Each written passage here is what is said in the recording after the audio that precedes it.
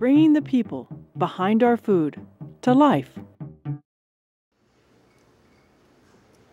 What are we doing about all this? What are we working on and where are we getting some success? So, obviously, the environmental approaches here in Oregon and around the country are getting some of the most traction because the environmental degradation that results from the factory farms is so clear to so many people. Um, now, now understand that the environmental laws, again, people think the EPA has too many regulations and the federal government's meddling too much. Most of these federal laws say a couple of things. One, you actually have to report your discharges. Not you can't do it, you just have to report.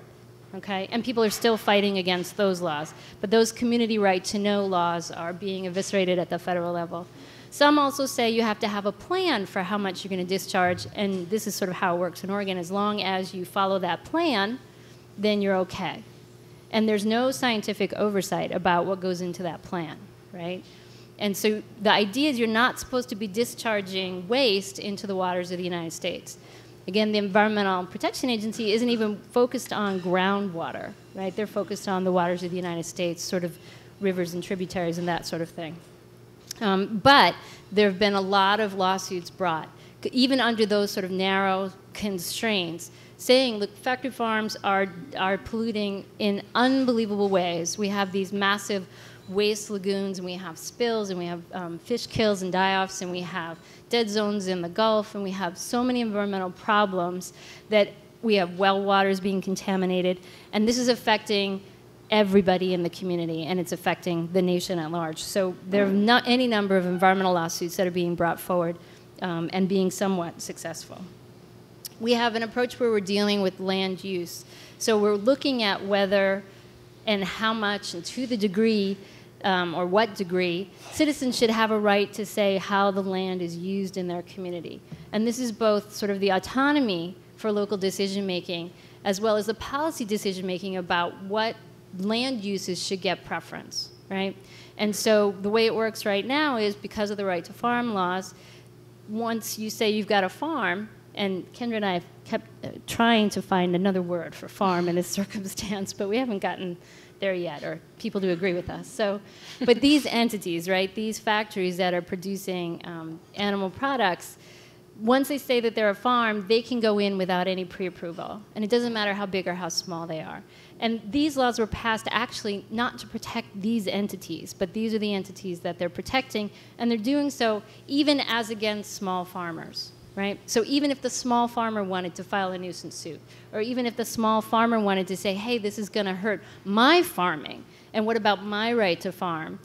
It's not going to go anywhere right now with these. So these laws need to be reformed, and this is something that we're also looking at and working on. We've looked at property tax appeals.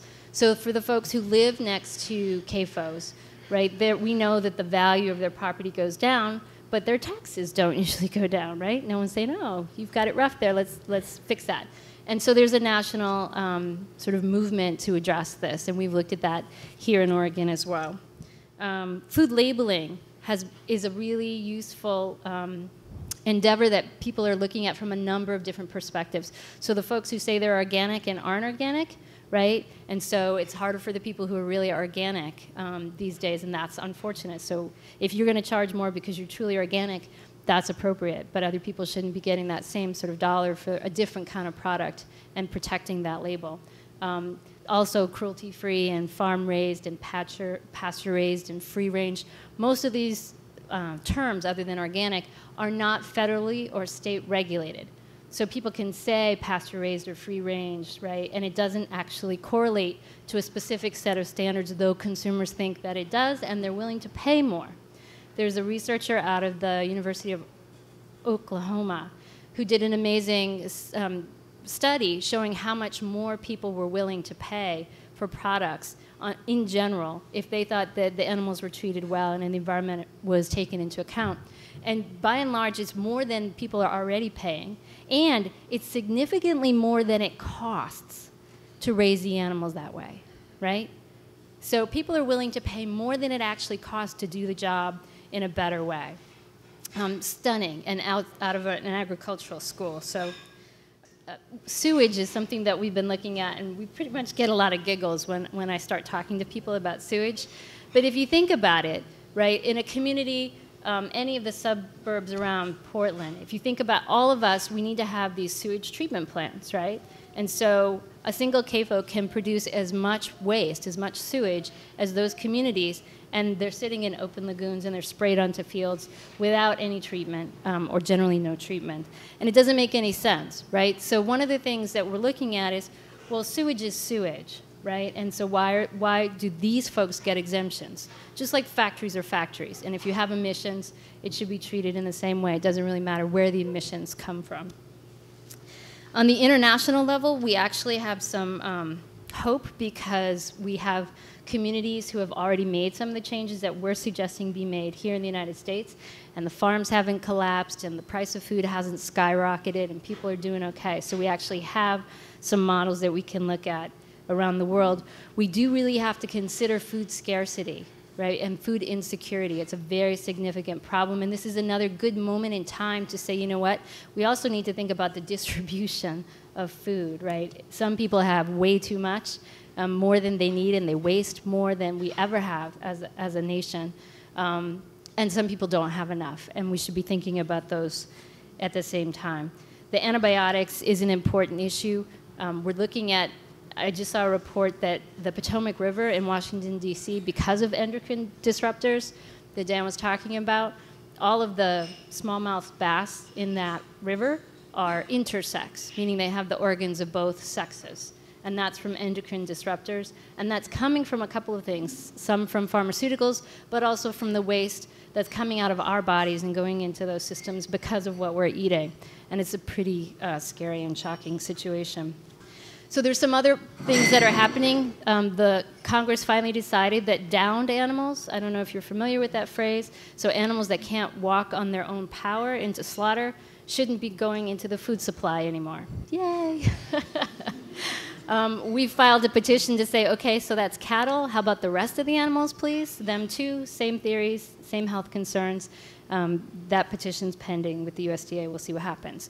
There's microchipping, which is um, helpful. This idea that we should microchip the animals so that basically when there is a problem, that we know the source of the problem. We know which animals um, were tainted with salmonella or E. coli, what have you. So that will help with the recalls obviously with the, again the integration and the um, consolidation of the business, it becomes really difficult. As someone was explaining to me, you know, if a pound of hamburgers get contaminated, that pound of hamburger may come from five or six or more different cows because of the way the system works. And so the implications are just enormous for trying to track back the bad practices and to prevent the health um, breakouts that we've been seeing. So, one of the things that we're also looking at is the role of government, sort of the appropriate role of government, both at the local level, the state level, and the federal level. So, one of the things that I found striking when I read the same New York Times piece that Dan read about dairy um, was that the USDA is spending taxpayer money and some dairy checkoff money, but taxpayer money to figure out how to get Americans to eat more cheese. And so part of the USDA is doing that. And so what they did was they spent, I can't remember, it was like it was millions of dollars to hundreds work with, with yeah, well, hundreds of millions for the program, but just to work with Domino's to come up with the new six cheese pizza. And it was this same group that came up with the cheese in the crust, the what is it called, stuffed crust pizza for Pizza Hut a few years back. So, th- so all this money is going to figure out how to convince people to eat more of this stuff. While another part of the USDA is pr- presenting research saying, you know what, we're eating too much of this stuff and it's really bad for people's health. All right, so this is problematic. Um, and it arises because, to say the least, right? Because of the dual role of both the USDA and every state Department of Agriculture. So they have both a mandate to support agriculture, which is really important and appropriate, and to enforce the rules against, you know, over agriculture. And so they're promoting agriculture and supposed to be enforcing laws to rein in the excesses at the same time. As you can see, that's a pretty difficult task to do, creates some inherent conflicts of interest. And it creates schizophrenia, right, within the department. And so what we're seeing nationally is that some folks are saying maybe the departments of agriculture shouldn't be the ones who are deciding whether the farms are in compliance with environmental regulations, for instance. Right? Maybe that should be the departments of environmental quality or right, at the state level. They should be looking at that and let the ag folks support ag in the way that they feel that they need to do and separate those, right? And so it's something that we're also looking at here in Oregon, and we're talking with the Department of Agriculture about the role that they play and the conflicts that they have, and sort of what law is supporting their role in, in this duality, and ways that they can be doing it better. And so we've been chatting with them. We did a file review to see how it's actually operating at the base level, and they know that the people in the community are not particularly always happy, right, with how the department's responding to things. Some people are, some people aren't. And so this is an ongoing conversation that we hope to have with them, and we'll be um, sending them a report. But we're chatting with them to talk about how things can improve, right? How, what problems we foresee, what problems we see now, and how, what our suggestions are for change. Um, and we'll see how those conversations continue to evolve. One of the things that we talk about, particularly in the work that Friends of Family Farmers and I do, is this sort of small farm versus big farm issue, right, to a certain extent. And so it's interesting to see when the laws apply equally to the small farms and the big farms and when they don't. And even the folks at the Department of Agriculture here in Oregon understand that this one size fits all doesn't necessarily work particularly well. So in order to, to have, you know, a few goats producing milk here in Oregon, you have to get this license, and, you have to be bound by the same rules. And so, on the one hand, that makes perfectly logical sense, right? If you're going to be in an industry and it's governed by certain rules, everybody should play by the same rules. And on the other hand, we know that someone who has, you know, a half a dozen goats producing milk is not the same thing as a hundred head dairy, right? Or a hundred thousand, sorry, head dairy, right? It's not the same thing, and there are different issues. There's different resource concerns and demands, and there's different environmental consequences. Everything is different on that scale. And so we have to actually try and figure out what makes sense, right? How do, how do the farmers who are doing things right get supported, and how do the farmers who are not doing things right get evaluated, and how do we enforce the laws against them? So the good news is that we're actually reaching out and developing coalitions with all kinds of people. We're talking with veterinarians, we're talking with folks in different states, we're talking with um, people even abroad to try and figure out what are the options for moving forward. And so there's a lot of um, exciting opportunities that we're pursuing. And you know, it's sort of one step forward, two steps back sometimes, but then one step forward. And so I'll give you an example of that. So one of the big problems with the factory farms is the release of methane, right? So it smells really bad, it's bad for the environment, it's bad for the climate, okay? So what are the factory farms doing? They're aware of this issue, right? It's not just us. What are they doing? they're creating these um, devices called methane digesters. And the idea is that they're going to capture the methane, at least some of it, and they're going to convert it to energy. And some of them are touting this as new green energy, right? So, but think about it for a minute, because what does that encourage them to do? It encourages them to have even more animals and even more areas of concentration to develop this green energy, right? Which is pretty scary for me, because now we're not going to be doing this just to raise meat we're going to be doing it to, to create energy. And then the animals are even lost further in the equation. The workers are lost further. The community is lost further in the equation. And so we have some significant hurdles to think about as we develop um, these new protocols for handling the problems.